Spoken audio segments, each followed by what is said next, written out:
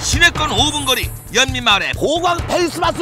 정남향의 창문이 4개 주부를 위해 더 길게 만든 식탁.